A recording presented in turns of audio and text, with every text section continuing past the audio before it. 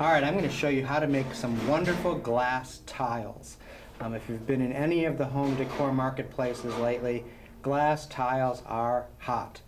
Uh, no pun intended there. All right, this is what we're going to do. We've got a glass tile mold. This is made of ceramic bisque, and it needs to be pre-treated or primed with our special primer that I've mixed with alcohol called Mold EZ, and it's easy to use. So I'm using a soft brush, and I'm going to simply brush on one coat over the entire mold. And you're probably wondering, why am I painting that outside edge? Well, just in case a little bit of our frit lands on the edge that I don't catch, it will simply be able to be picked right off the edge and it won't adhere to the mold at all. This mold can be used literally a hundred times. So we want to take good care of it and prime it properly. So we'll get it all completely coated with our Mold EZ. Okay? So we're completely covered. Now we're going to start filling our mold with glass. We've got lots of things to choose from. When you're looking into the surface of your mold, this is the way your tile is going to look to you. You're looking at the front of the tile on the front of the mold. So the reason I say that is sometimes when we're filling a cavity, we think we're going to remove it and look at the pretty side. That's not the case with glass casting. What you see on the front will be the front of the, of the tile. So we're going to start by looking at some of the options we have for filling this mold. I've got a little scrap piece of some art glass that um, I can include. I've got some of our glass pebbles, which are rounded little baubles of glass. I've got some rod dots. So if you remember from other parts of our video, I showed you how to slice the rods. So we've got those to add. We also have glass chips. So I've got a few red chips here.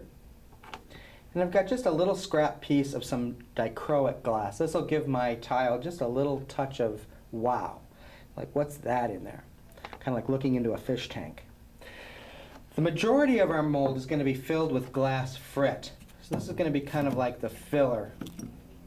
So I've chosen glass, two glass frits that are transparent and one that is opal or opaque. So I'm going to go real easy on the opaque, um, otherwise it will block out anything that's underneath it.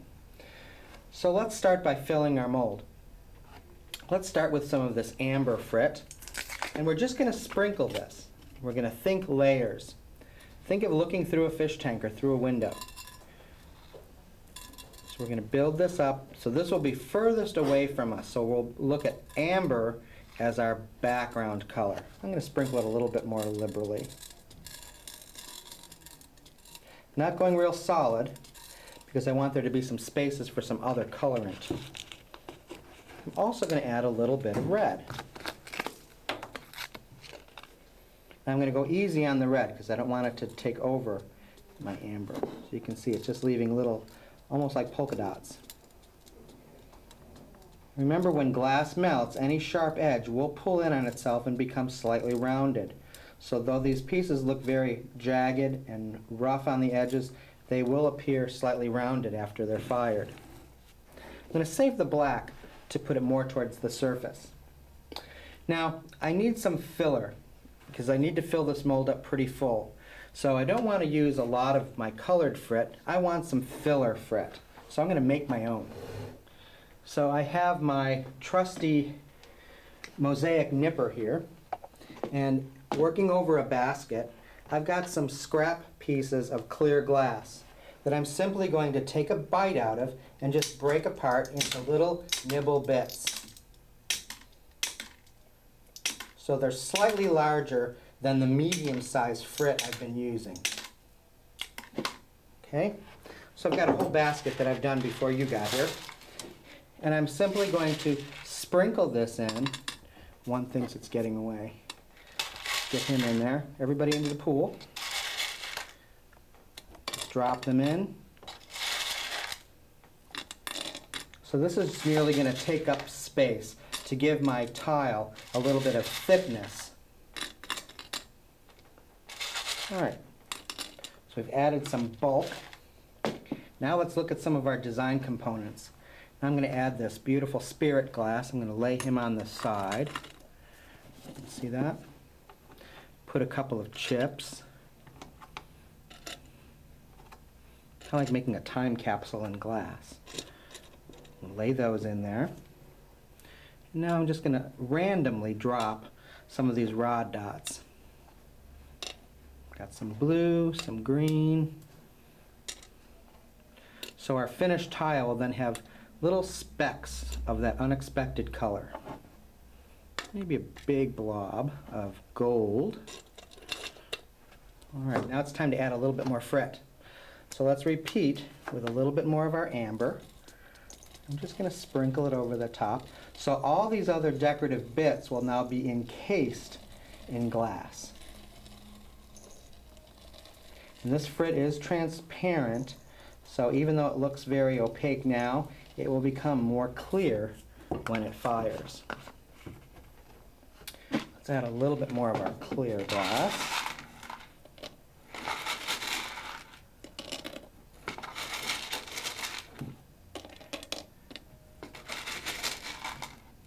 And I'm feeling kind of extravagant today. One of the other things we can add is dichroic glass. So I've got this little scrap piece. I'm going to set that in, kind of as a surprise. You can also add one of our dichroic cut-ups. These are nice inside of a tile because they're already cut into a shape. It won't distort during firing, so we'll have this beautiful metallic spiral. Let's put that right in the middle of our tile as a wow factor. Remember I talked about having a little bit of black? This is opaque or opal glass, so we don't want to use a lot of it. It will cover up anything that's underneath it. So we're just going to add a peppering of it, just for some interest of how they get those specks in there. So it will look kind of like fresh ground pepper. Just a few. So when they look at it, they'll be, hmm, how'd they get that in there? All right, and we're going to finish off with our clear glass.